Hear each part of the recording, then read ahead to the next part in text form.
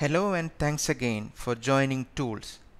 Welcome to part 2 of the lecture on inotropes and vasopressors which forms the second in the lecture series for the online orations for learning through seminars, tools in anesthesia and critical care. Myself Saneesh from Sultan Qaboos University Hospital, Muscat. In part 1, we have plotted the commonly used vasoactive drugs according to their effects. This helps in our decision making regarding our first choice drug. Further, we may decide to add another agent in an effort to achieve the target and to reduce possible side effects targeting catecholamine sparing. The pathophysiology dictates the goals of therapy and we always rely on the best available clinical evidence. Now, let us take a few clinical scenarios and see how we can decide on the choice of vasoactive agents. The first one is cardiogenic shock complicating acute myocardial infarction. Here we have to strike a balance between the risks and benefits of drug therapy with vasoactive agents. Inotropes or vasopressors may lead to ventricular arrhythmias, contraction band necrosis, or even infarct expansion. On the other hand, critical hypotension will result in further compromised myocardial perfusion, elevated LV filling pressures, raised myocardial oxygen requirement, and further reduction in coronary perfusion pressure all of these mean that you may lose your patient. So, I would like to choose in favor of picking an inotrope or vasopressor. And now the question is, how do I decide? Going back to our classification grid and the plot, you need an inotrope. How about a vasopressor? It can increase the afterload and myocardial work, right? So, dobutamine comes up in the list. Let us see if this matches with the guidelines from literature. The ACC AHA, American College of Cardiology, American Heart Association guidelines for management of hypotension complicating acute myocardial infarction suggests the use of dobutamine as the first line agent if systolic blood pressure ranges between 70 and 100 millimeters of mercury in the absence of signs and symptoms of shock. Dopamine is suggested in patients who have the same systolic blood pressure in the presence and symptoms of shock. However, definitive evidence supporting the use of specific agents in this setting is lacking. Moderate doses of these agents maximize inotropy and avoid excessive alpha 1 adrenergic stimulation that can result in end organ ischemia. Moderate doses of combinations of dopamine dobutamine may potentially be more effective than maximal doses of any individual agent. When response to a medium dose of dopamine or dopamine dobutamine combination is inadequate or the patient's systolic blood pressure is less than 70 millimeters of mercury, the use of norepinephrine has been recommended. With an antithrombotic effect in addition to its pressure qualities, norepinephrine may be the optimal choice under these conditions. How about epinephrine? It can exacerbate lactic acidosis, cause tachyarrhythmias, and promote thrombosis, especially in the coronary vasculature. Vasopressin may be effective in norepinephrine resistant vasodilatory shock, improving mean arterial pressure, cardiac index, and reducing the need for norepinephrine, resulting in reduced cardiotoxicity and malignant arrhythmias. Going to scenario number 2, neurocritical care that is traumatic brain injury or acute neurologic injury. Traumatic brain injury is a major global public health problem. Among the predictors of outcome of traumatic brain injury, hypotension is the most amenable to prevention and hence it should be aggressively managed. Appropriately aggressive fluid administration is the first step in the resuscitation.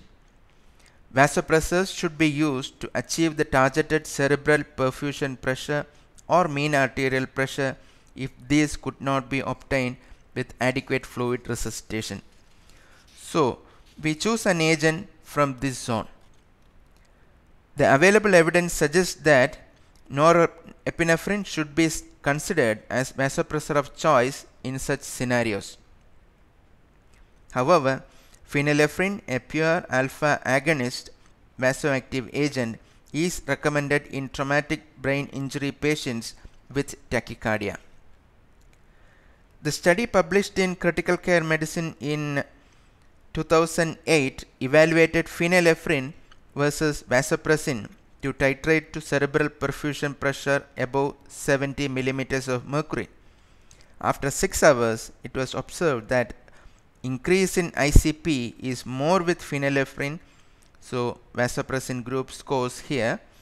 Brain tissue PO2 was better maintained in vasopressin group though peripheral tissue PO2 was compromised in vasopressin group.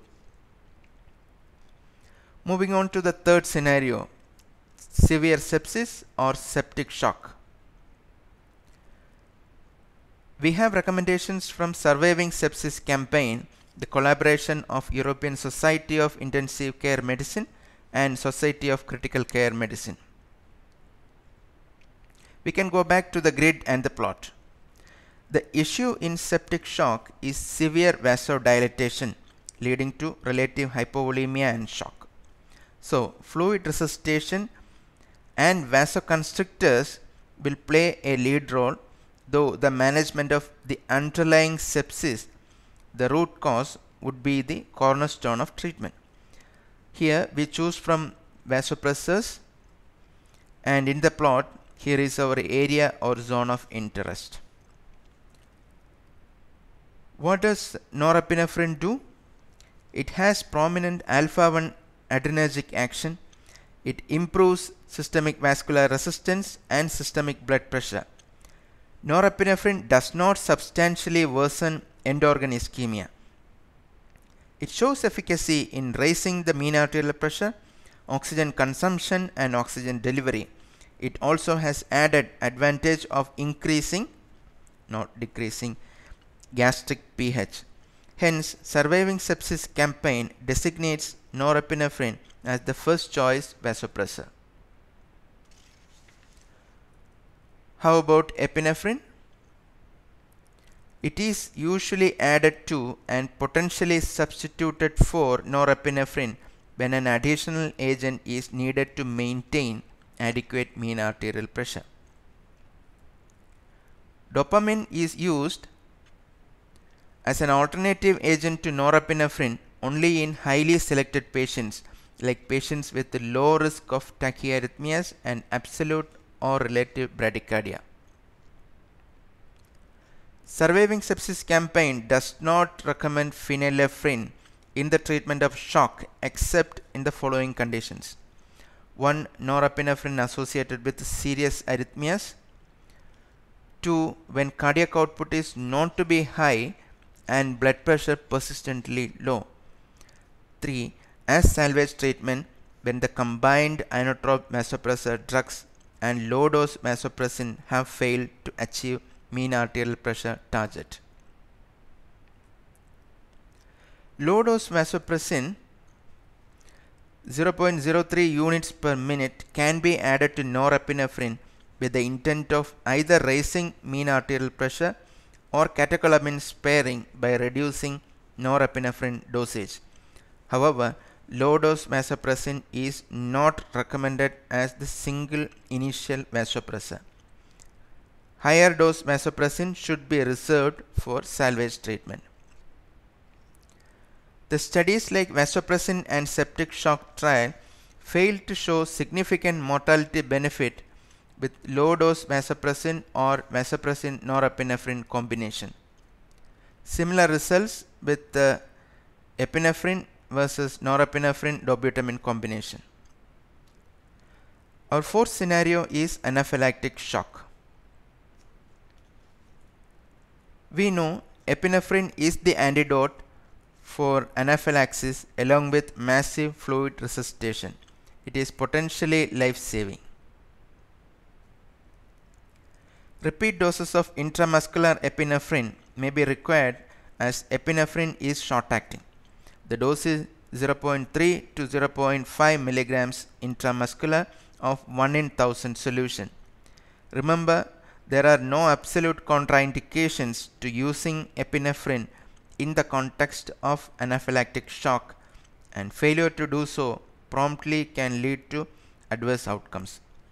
If vasopressors are required, epinephrine 1 in 10,000 solution may be started at 1 micrograms per minute increasing to 10 microgram per, per minute as required. Dopamine infusion 2 to 20 micrograms per kg per minute may also be added. In case of refractory shock or in beta block patients, initially you can try atropine for uh, bradycardia which is symptomatic glucagon should be considered as it exerts positive inotropic and chronotropic effects on the heart independent of catecholamines. Therefore, glucagon 1 mg IV bolus followed by an infusion of 1 to 5 mg per hour may improve hypotension in 1 to 5 minutes with a maximal benefit of 5 to 15 minutes. These drugs are also included in our topic we have phosphodiesterase 3 inhibitors like enoximone, milrinone, calcium sensitizers like levosimendan and endogenous hormone vasopressin. With that we come to the concluding part of this lecture.